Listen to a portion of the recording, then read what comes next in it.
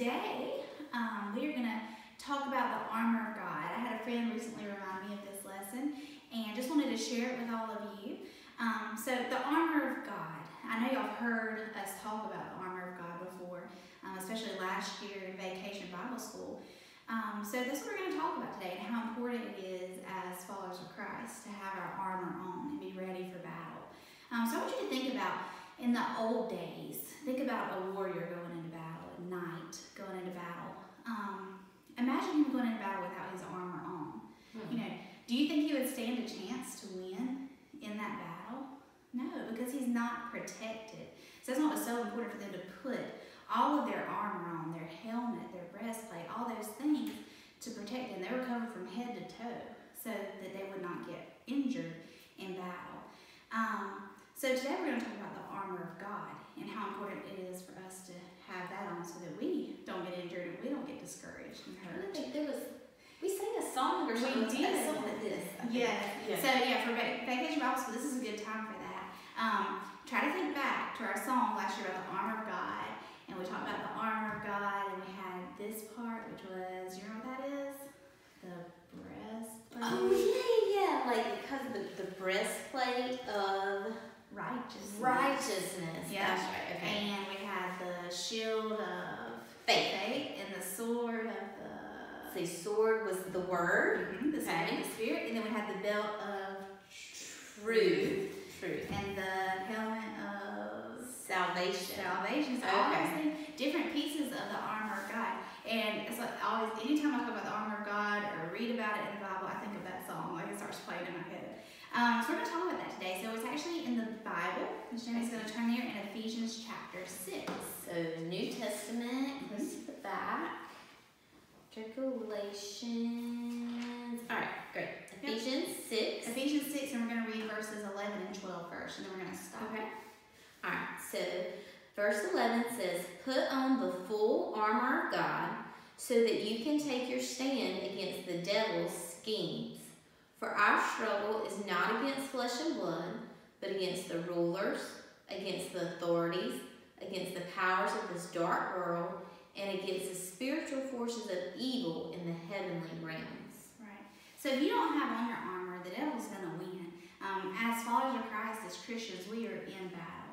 And so it's important that we have our armor on so that we can stand up against Satan in that battle. So here's what we need to do. Here's how we need to put on our armor. So if you'll read verses 13 through 18, it will tell us. Okay.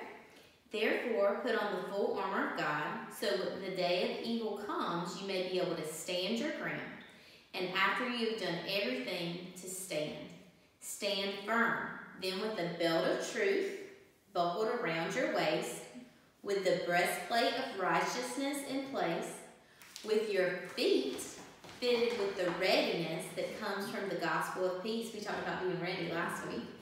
In addition to all this, take up the shield of faith with which you can extinguish all the flaming arrows of the evil one. Take the helmet of salvation and the sword of the Spirit, which is the word of God. And you said 18 too? All right, so we're going to pray in the Spirit on all occasions. I like that word all. That means all the time. With all kinds of prayers and requests. With this in mind, be alert and always keep on praying for all the Lord's people. Right. So today we're going to look and see what it looks like for us to have our armor on and what it looks like when we don't have our armor on. And so all we're going to do is just use some oranges today. So we have some oranges here. Here's one that has the peeling on it, and here's one that has the peeling off. So today the peeling, the outside of the orange represents the armor. So first we're going to do the one without the armor on. So what do y'all think will happen when I put this orange into the water without its armor on? What do you think will happen? Let's find out. Ooh. What happened? It sunk, didn't it, right? So it went to the bottom. So do you think without his armor on, he has any chance to win spiritual battle against Satan? Oh, I was here trying to hold my breath. no, yeah, he's he's sinking, right? He's defeated. Um, so this represents the Christian who does not have their armor on, who has Mhm. not put on the helmet of salvation, the breastplate of righteousness, the belt of truth, all those things. Um, So, what you may be thinking when you see this is, well, Miss Kim, how do I make sure I have my armor on? I know there's not literally every morning I'm supposed to put an actual helmet on my head and wear it around every day, or um, you know, the belt of truth. No, there's not literal pieces of armor to put on, but it's what those pieces of armor represent. So what we're going to do is quickly go through what those pieces of armor represents and what the Bible tells us. So we're going to use this bag, and in this bag is the pieces of the armor. So I'm going to show you pull them out, and as she pulls them out, we'll look at them, and then we'll explain what they represent. So first, she has the shield of faith. Okay, so what do you think this shield of faith represents? Okay, that represents our faith and our trust in God. Um, that He will protect us from Satan when he tries to put doubts in our mind, um, and that we are to have that strong faith, that belief in God to help us in that spiritual battle. Okay. All right. Believe in God. And all God is. Ooh, this is a big one. Ooh. All right, this is the breastplate of righteousness. All right, so the breastplate of righteousness represents that when we are saved, we have Jesus in our heart. It is Him who makes us good. Um, and it is that that we can hide behind Jesus and His goodness um, to protect us as well. He is our defense. He is what protects us. So He is our goodness. So just like last week when we learned about the ticket to heaven, there really wasn't a ticket, Right. but instead of God seeing our sins, He saw Jesus' Right. sacrifice on the cross. So that's our breastplate of righteousness. Yes. So we have to have faith, Jesus' righteousness. Ooh, a little teeny tiny one. Ooh. This is the belt of truth. Da-da-da. Yeah, so the belt of truth. What that represents is here's the thing Satan's full of lies. And he's going to mm-hmm. come at you and he's going to try to convince you of things that are not true. So it's important that we are prepared as Christians with the truth. So where do we find that truth at? We find the truth in the Word of God. We find it in listening to preaching and teaching about the Bible.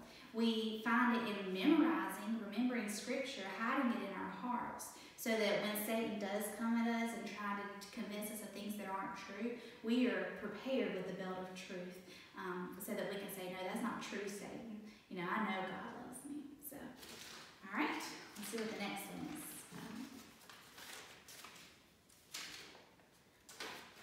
All right, this is the helmet of salvation. All right, so the helmet of salvation, we know that that's so important. Salvation, being saved. Um, so that is what is going to protect our minds. Okay, Jesus protects our minds, our way of thinking.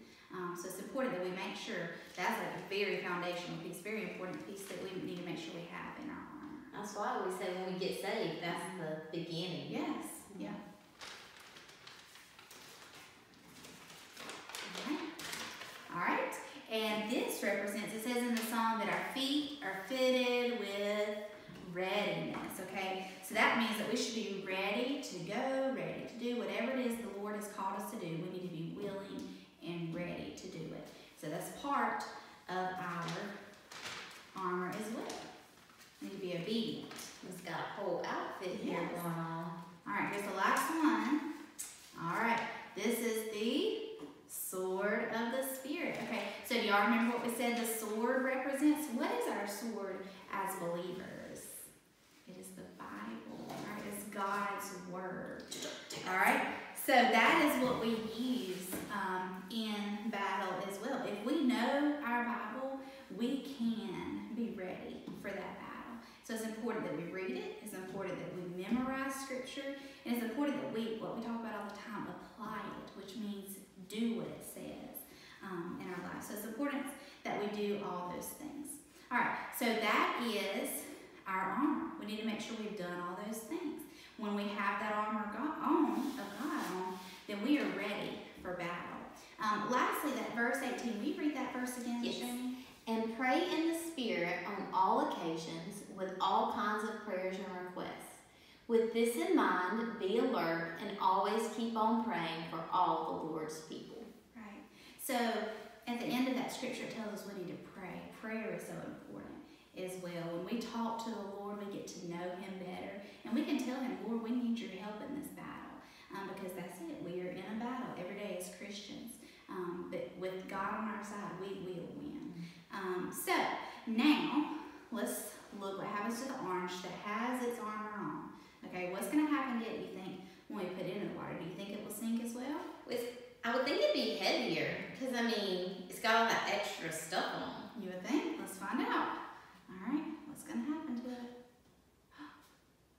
It's not sinking. And it's definitely not on that other orange. Look at all that No. space in there. Yeah. That's so cool. It's floating. All right, it's staying up. Okay, it's winning that battle. He has on his armor of God.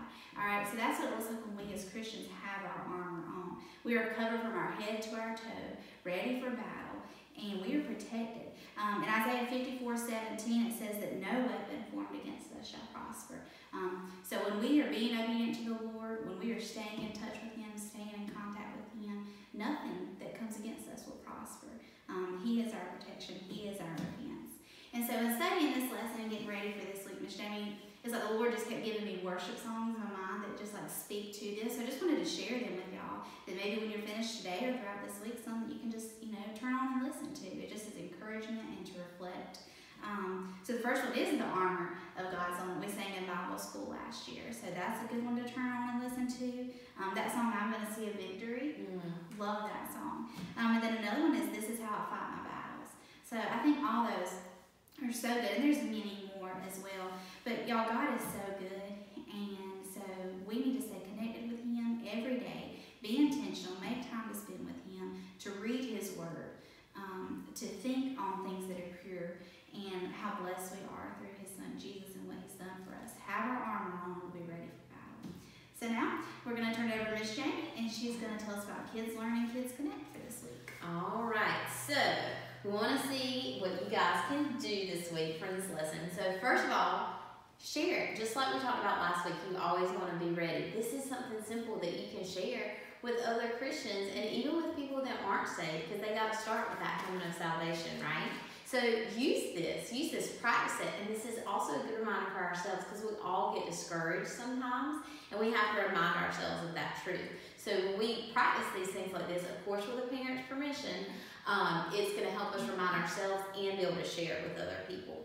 Now, we could easily turn this into a little game, and I want to let you know that on Thursday night, so tomorrow night, Kids Connect, there's going to be a special guest. Okay, a special guest that you guys can interact with, and I'm going to let him know that you guys have been studying this. So he may have a little quiz or a game for you guys for that. So that's going to be something you work on. This is memorizing, memorizing those pieces of armor. All right, and then finally, I want you to be intentional. I want you to put on that armor every day. First thing in the morning, try to read your word, pray, be ready to um, worship God, ready to share the gospel. Take that sword of um, the Spirit and your shield of faith and have it ready for you when you have it on every day.